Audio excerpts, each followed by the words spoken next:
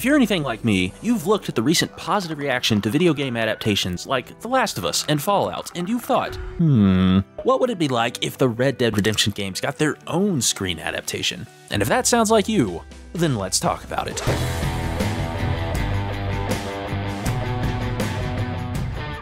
moving picture show. What's good, everybody? This is something I've thought about off and on for a while. And by a while, I mean ever since the credits of RDR2 rolled for me back in 2018. Yes, I'm well aware anytime a game gets adapted to the screen, there's a chance it goes horribly wrong. I'm also aware of comments made by company leadership, but hear me out. The Red Dead series features character driven storytelling, action sequences, and a Wild West setting that, while overplayed by Hollywood for many years, still has an audience even if you forget about the response to modern Western TV shows like Hell on Wheels and 1883. The Red Dead series alone has a built-in audience measured in the tens of millions, based on the number of copies these games have sold.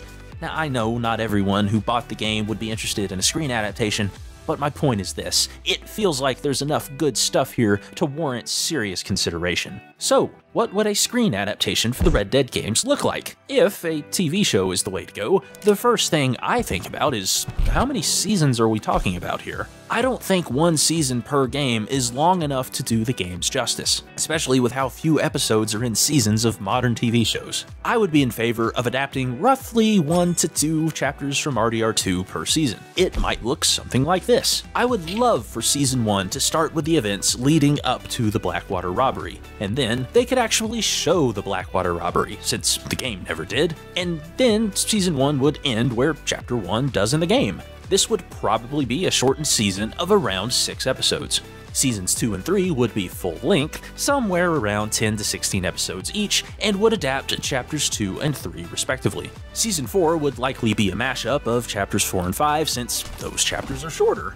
Season 5 would focus on Chapter 6, and RDR2 would wrap up with Season 6 adapting both chapters of the epilogue. RDR1 would then cover Seasons 7 and 8, or 7, 8, and 9, depending on how quickly they wanted to move through the material. If they went for two seasons, well, the natural breaking point to me would occur somewhere around the time John catches Javier and Bill in Mexico. If they went for three seasons on RDR1, Season 7 would be everything that happens before John goes to Mexico, Season 8 would be the entire Mexico sequence of the game, and Season 9 would be everything that happens after John returns from Mexico. The risk is, of course, the longer they draw it out, the higher the chance the show gets cancelled before they finish adapting both games. Most fans, and networks it seems, don't have the patience to stay with something for the better part of a decade. So the reality is a TV adaptation would probably have to move quick enough to fit everything in in five or so seasons. Would a movie adaptation make more sense than a TV show? If they went this route, I think they'd have to make at least three movies to cover the story well, and possibly more. A potential outline could be uh, the first movie covers RDR2 chapters 1 through 4 and ends with the shipwreck on Guarma. The second movie would cover Guarma through the end of RDR2, and the third movie would cover all of RDR1. My struggle with the movie concept is pacing. I personally think a movie would move through the material too quickly, but I'm curious to hear what others think. After pacing, what I think about most is how closely the adaptations should stick to the source material.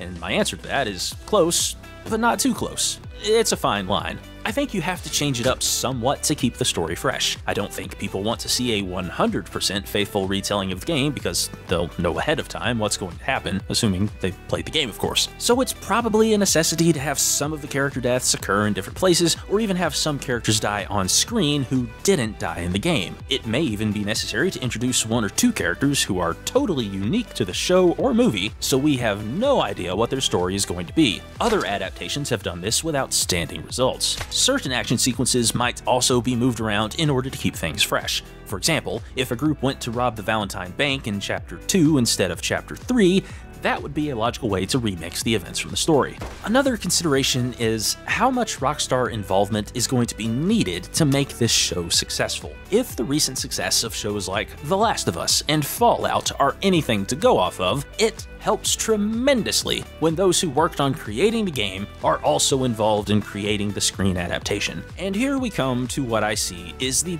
biggest challenge to creating a good Red Dead show or movie. Rockstar is, how shall I put this delicately? They suck at multitasking. They don't do much in terms of community management, and it feels like they've all been squirreled away in their workspace for over a decade, working on at most two projects GTA 5 Online and Red Dead 2. And now, focus has shifted entirely to GTA 6. With the pressure that game has of living up to the hype, I don't see them pulling any attention away from that project until both the single player and the online portion of that game have launched and are in a good state. But the Rockstar I know also loves money above all else. If they thought investing in a screen adaptation would generate enough of a return in the sales of a game, they would go for it. I can't put a number on what that return would be, but I've got to think there are some people who haven't played the games yet, but would be moved to do so if a screen adaptation was done well. What are your thoughts on the prospects of a Red Dead screen adaptation? Who should be cast as the various characters? Do you think certain streaming services could do a better job of adapting it than others?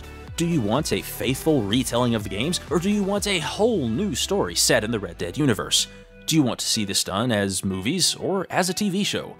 Or are you tired of adaptations altogether and think these should be left alone as the great games they are? I'd love to hear your thoughts in the comments, so sound off.